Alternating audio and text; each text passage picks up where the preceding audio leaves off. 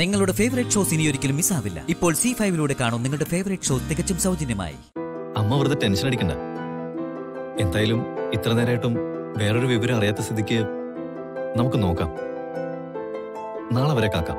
യാതൊരു കാരണവശാലും ഈ വിവരം ഗിരി അറിയരുത്. അവൻ ഇനി ഇതും കൂടി അറിഞ്ഞാൽ എരിതിയിൽ എണ്ണ ഒഴിക്കുന്നതിന് തുല്യമായിരിക്കും അത്. ഞാൻ പറഞ്ഞില്ലേ ഇത് വേണ്ടതുപോലെ ഞാൻ ഡീൽ ചെയ്തോളാം. ആർക്കറിയാം? ദയവായിട്ട് ഒരു പക്ഷേ എന്റെ ജീവിതത്തിൽ നിന്ന് അവളെ എങ്ങനെയെങ്കിലും ഒഴിവാക്കി തന്നതാണെങ്കിലും. നീ ഇങ്ങനെ ഏതു നേരം നോക്കിയാലും കരഞ്ഞോണ്ടിരുന്ന എങ്ങനെയാ? നിന്റെ വയറ്റിൽ കുഞ്ഞുള്ള കാര്യം മറക്കരുത്. നീ ഇങ്ങനെ സങ്കടപ്പെട്ട അതാ പാവത്തിനെ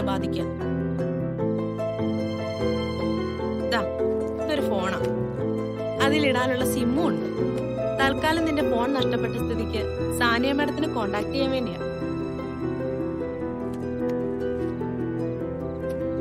ഏട്ടത്തിയുടെ ഫോണിലേക്ക് വരുന്ന കോൾസ് ഒക്കെ പോലീസോ മറ്റോ ട്രേസ് ചെയ്യുന്നുണ്ടെങ്കിലോ? ഈ നമ്പറിൽ നിന്ന് ആരെ വിളിച്ചാലും ഒരു പ്രശ്നമില്ല ഇത് എന്റെ പേരിലെടുത്ത സിമ്മാണ് നീ സങ്കടപ്പെടാണ്ട് കിടക്കാൻ നോക്കും. എല്ലാം ശരിയാവും. ഗുഡ് നൈറ്റ് ഗുഡ് നൈറ്റ്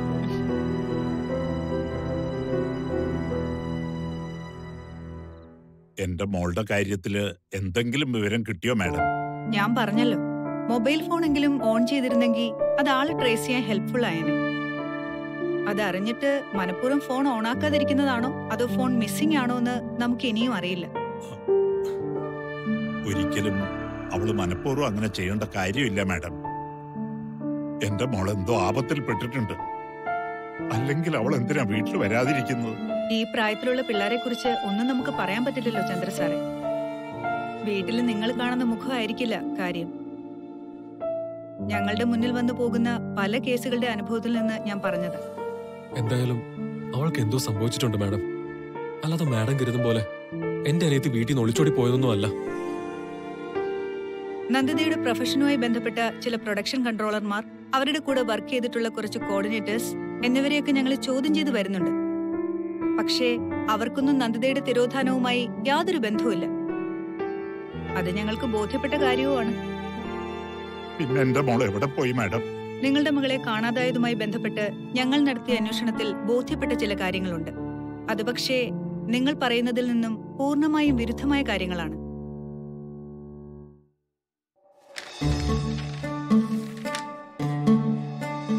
ഇത് കണ്ടോ? കാണാതാകുന്നതിന് മുമ്പുള്ള നിങ്ങളുടെ മകളുടെ കോൾ ഹിസ്റ്ററിയാണ്. നമ്പർ വെച്ച് ഞങ്ങൾ എടുപ്പിച്ചതാണ്. കാണാതായ നന്ദിതയ്ക്ക് ആരോടെങ്കിലും എന്തെങ്കിലും പ്രേമോ അടുപ്പോ എന്തെങ്കിലും ഉണ്ടോ എന്ന് ചോദിച്ചപ്പോ ഇല്ലെന്ന് തറപ്പിച്ചു പറഞ്ഞതാ നിങ്ങൾ. നന്ദിതയുടെ ഫോണിലേക്ക് നിരന്തരം വിളിക്കുകയും നന്ദിത തിരിച്ചു വിളിക്കുകയും ചെയ്യുന്ന ഒരേ ഒരു നമ്പറേ ഉള്ളൂ. അതൊരു കൂട്ടുകാരിയുടെ നമ്പർ അല്ല താൻ പിന്നെ അത് ആരുടെ നമ്പറാ മാഡം? ഈ ഫോൺ നമ്പറിന്റെ ഉടമ വൺ മിസ്റ്റർ നിതീഷ് നമ്പ്യാറാണ് ഈ നിതീഷ് നമ്പ്യാർ ആരാണെന്ന് ഞാൻ നിങ്ങളോട് പറഞ്ഞു തരേണ്ട ആവശ്യമില്ലല്ലോ. ഈ നിതീഷ് നമ്പ്യാരും കാണാതായ നന്ദിത ചന്ദ്രനും പകലും രാത്രിയൊന്നുമില്ലാതെ മണിക്കൂറുകളാണ് ഫോണിൽ ചെലവഴിച്ചത്. ഇതിൽ നിന്ന് ഞങ്ങൾക്ക് ഒരു നിഗമനത്തിലേ എത്താനാകും. അത് അവർ തമ്മിൽ വഴിവിട്ട ബന്ധം ഉണ്ടായിരുന്നു എന്നുള്ളതാണ്. നിതീഷ് എ- എന്റെ വൈഫിന്റെ ആ ഇനിയൊരു വാദത്തിനു വേണ്ടി ചേച്ചിയുടെ ഭർത്താവിന്റെ അനിയനെന്നോ ബന്ധുക്കളെന്നോ ഒക്കെ വേണമെങ്കിൽ പറയാം. പക്ഷേ നമ്മൾ കണക്കിലെടുക്കേണ്ട വസ്തുത അയാൾ ഒരു ബിസിനസ്സുകാരനും നിങ്ങളുടെ മകൾ ഒരു മോഡലിംഗ് ആൻഡ് ആക്ടിംഗ് ഫീൽഡിൽ നിൽക്കുന്ന ആളാണെന്നുള്ളതാണ്. പാതിരാത്രി പന്ത്രണ്ട് മണിക്കും ഒരു മണിക്കും രണ്ടു മണിക്കും ഒക്കെ അവർ തമ്മിൽ നിരന്തരം സംസാരിക്കുന്നു എന്ന് വെച്ചാൽ എന്താ അതിന്റെ അർത്ഥം? നിങ്ങൾ തന്നെ പറ. നന്ദിതയും നിതീഷ് നമ്പ്യാറും തമ്മിലുള്ള അടുപ്പം കണക്കിലെടുത്ത് നന്ദിതയുടെ തിരോധാനവുമായി ബന്ധപ്പെട്ട അന്വേഷണത്തിൽ പോലീസ് സംശയിക്കുന്നത് അയാളെ തന്നെയാണ്. സ്വന്തവും ബന്ധവും ഒന്നും മാഡം നോക്കണ്ട. എന്റെ മോൾക്ക് ഒരാപത്തും കൂടാതെ അവളെ തിരിച്ചു കിട്ടണം. ഞങ്ങൾ ആ വഴിക്കൊന്ന് അന്വേഷിക്കട്ടെ. എന്തെങ്കിലും ഉണ്ടെങ്കിൽ അറിയിക്കാം. തൽക്കാലം നിങ്ങളിപ്പോ ചെല്ല്.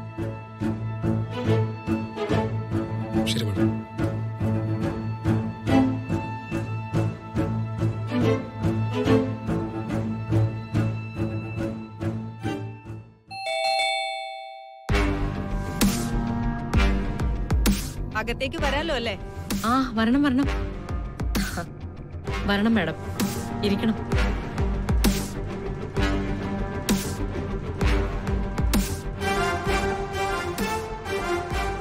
എന്താ മാഡം?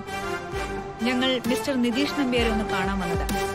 ആളിവിടെ ഉണ്ടെങ്കിൽ ഒന്ന് വിളിക്കണം. ഓ പിന്നെന്താ?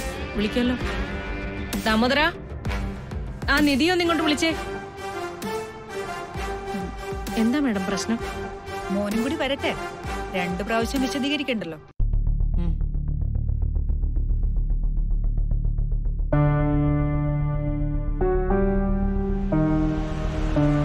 Good morning sir. Good morning. എന്തായിരുന്നു?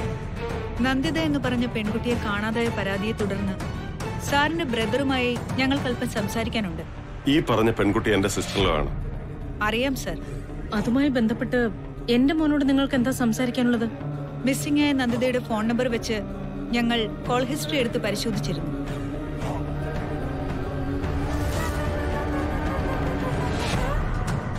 സാറിന്റെ അനുജനും ആ കുട്ടിയുമായി നിരന്തരം കമ്മ്യൂണിക്കേഷൻ ഉണ്ടായിരുന്നു. ഗിരി പറഞ്ഞില്ലേ ആ കുട്ടി ഇവന്റെ ഭാര്യയുടെ അനിയത്തിയാ. അടുത്ത ബന്ധുക്കളാ ഞങ്ങൾ. അപ്പൊ പിന്നെ ഫോണിൽ സംസാരിച്ചു എന്നൊക്കെ വരില്ലേ? അല്ലേ Giri we are good friends too അവളൊരു മോഡലാകാൻ ആഗ്രഹിക്കുന്ന പെൺകുട്ടിയാണ്. എന്റെ കോണ്ടാക്ട് വെച്ച് ഞാൻ അവൾക്ക് ഒരുപാട് അവസരങ്ങൾ നേടിക്കൊടുത്തിട്ടുണ്ട്. അവളുടെ പ്രൊഫഷനുമായി ബന്ധപ്പെട്ട കാര്യങ്ങളാണ് ഞങ്ങൾ എപ്പോഴും സംസാരിക്കുന്നത്. സർ സംശയാസ്പദമായ കോളുകളും അല്ലാത്ത കോളുകളും കണ്ടാൽ തിരിച്ചറിയാനുള്ള കഴിവ് ഞങ്ങൾ പോലീസുകാർക്ക് ഉണ്ടാവുമെന്ന് മനസ്സിലാക്കണം.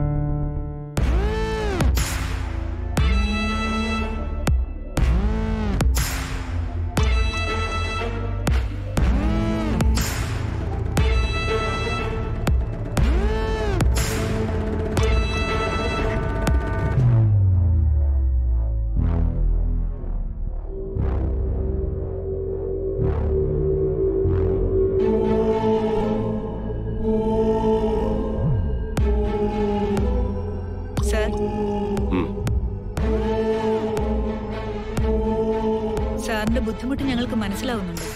സാറിനും ഫാമിലിക്കും ഒരു ഇഷ്യൂ വരാത്ത രീതിയിൽ ഞങ്ങളിത് ഹാൻഡിൽ ചെയ്തോളാം. സാർ പേടിക്കണ്ട.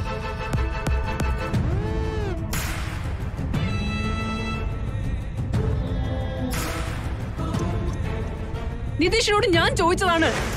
അവന് പറയാനുള്ള ഉത്തരം ഞാൻ കേട്ടതാ. അത് കൂടുതൽ നിതീഷിന്റെ അടുത്ത് ഗിരി ചോദിച്ചാലും അവൻ പറയാൻ പോകുന്നില്ല.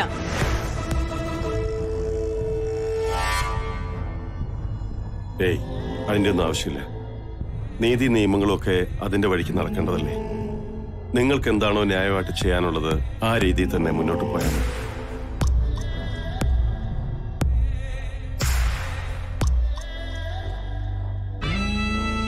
വേണ്ടി വന്നാൽ ഇടയ്ക്കൊന്ന് സ്റ്റേഷനിലേക്ക് വരേണ്ടി വരും. സാറിന് ബുദ്ധിമുട്ടില്ലല്ലോ അല്ലേ? ശരിയെന്നാ.